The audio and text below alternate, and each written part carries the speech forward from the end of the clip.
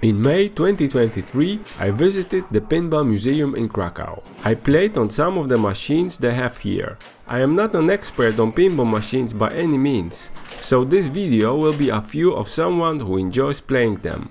When you enter this place, you are immediately overwhelmed by the lights and sounds produced by the pinball machines. Besides pinball machines, there are also numerous classic arcade games cabinets here.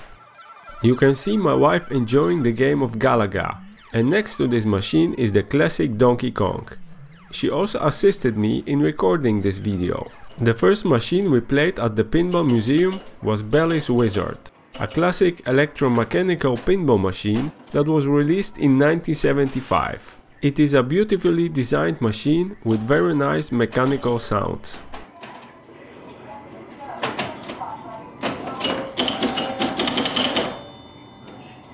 Located in the same area is Bow and Arrow pinball machine from the same maker, which was also released in 1975. This machine features stunning artwork depicting Native American culture and traditions.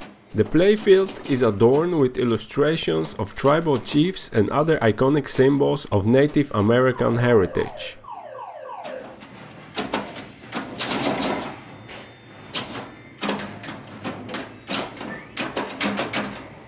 Amigo is another electromechanical pinball machine also manufactured by Bally's in 1974. Its theme is based on Mexican culture, featuring colorful illustrations of mariachi musicians, cacti and other iconic symbols of Mexico on the playfield and backglass.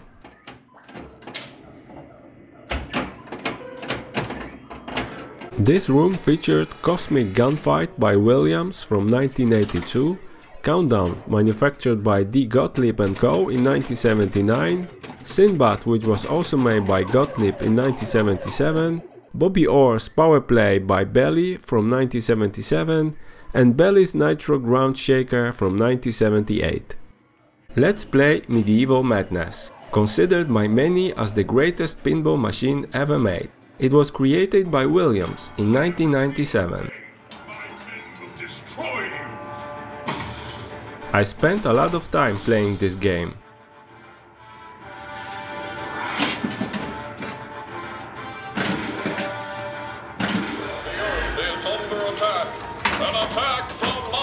This pinball machine is called Attack from Mars. It was made by Bally in 1995. It has become a true classic in the pinball world and is highly sought after by collectors. Its innovative gameplay, immersed theme and cutting-edge design have made it a timeless masterpiece in the world of pinball machines.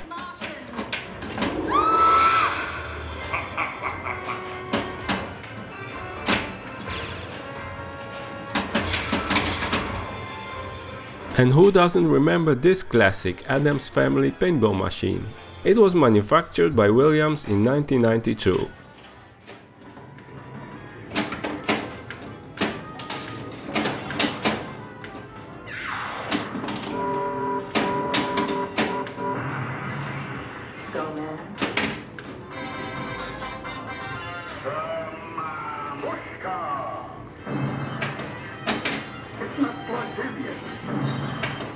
More pinball machines here, including Star Wars, which was manufactured by Data East in 1992.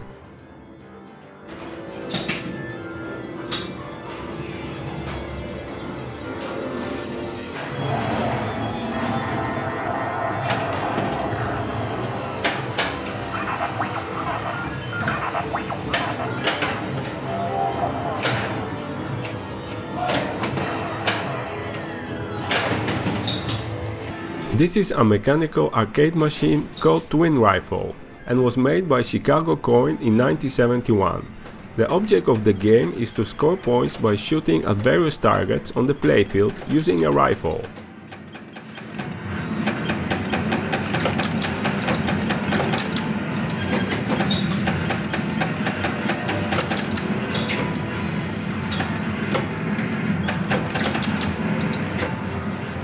More Star Wars pinballs. This is episode 1, made by Pinball 2000 in 1999. It features a cool looking hologram on top of the playfield that shows the scores and minigames.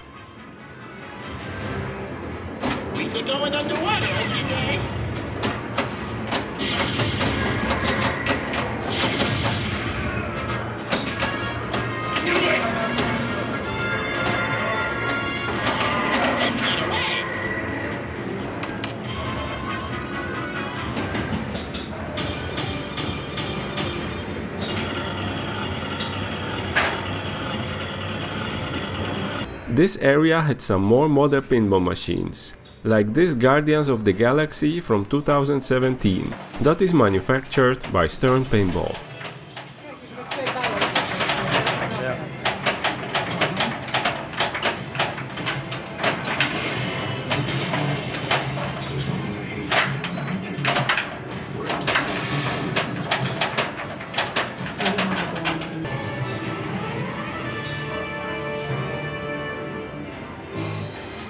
As I mentioned in the beginning of this video, there are also arcade machines here. Outrun is a classic arcade racing game released by Sega in 1986. The driver controls a red Ferrari Testarossa convertible through picturesque courses. Outrun has had a significant impact on the racing game genre and is regarded as one of the most influential arcade games of all time.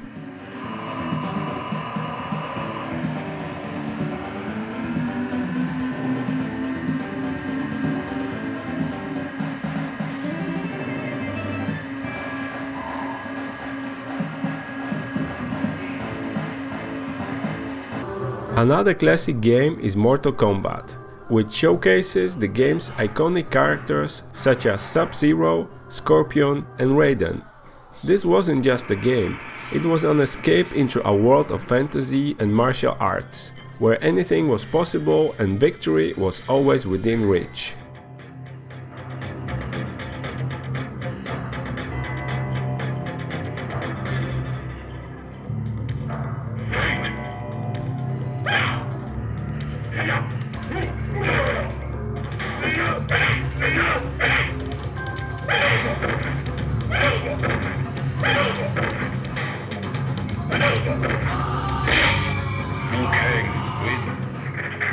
More pinball machines in this room from the 90s, like WWF Royal Rumble made by Data East, Diner and Whirlwind by Williams, Creature from the Black Lagoon by Bally, Dirty Harry and Demolition Man by Williams, and Fire from 1987.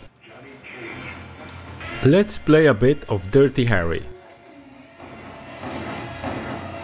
This machine is serious business.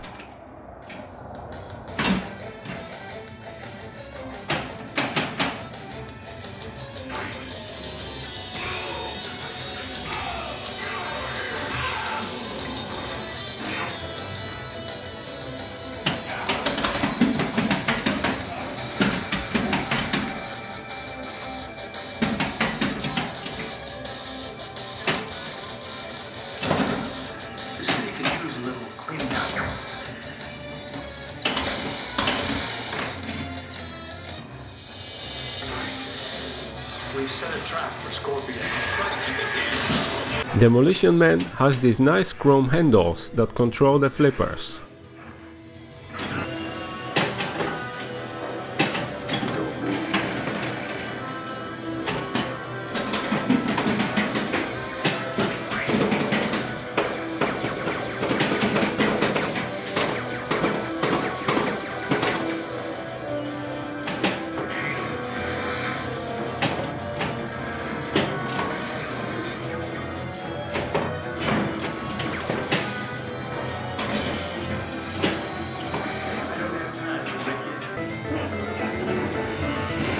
Fire Pinball Machine. Just look at the playfield, it actually glows with action. Fires break out and you have to take them out by completing the appropriate bank or making the lead shot.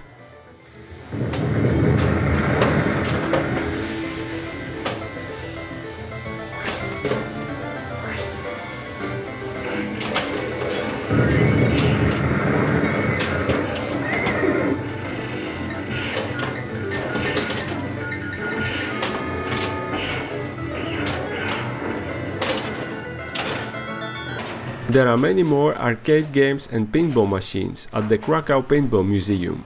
I will finish it here, but if you are in the neighborhood of Krakow, I highly encourage you to visit this place.